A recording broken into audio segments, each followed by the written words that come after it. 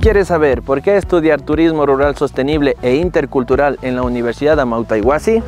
Con esta carrera crearás oportunidades de subsistencia para las comunidades locales a través de mecanismos que promuevan la interculturalización, sensibilización y respeto a la diferencia cultural.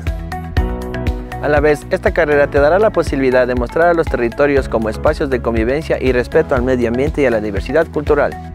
Nuestra carrera tiene una duración de cuatro años y la modalidad de estudio es híbrida, lo que significa que recibirás clases virtuales y trabajarás de manera presencial en proyectos en territorio, desafíos comunitarios de acuerdo al lugar en el que vives. ¿Qué esperas para obtener tu licenciatura en Turismo Rural Sostenible e Intercultural?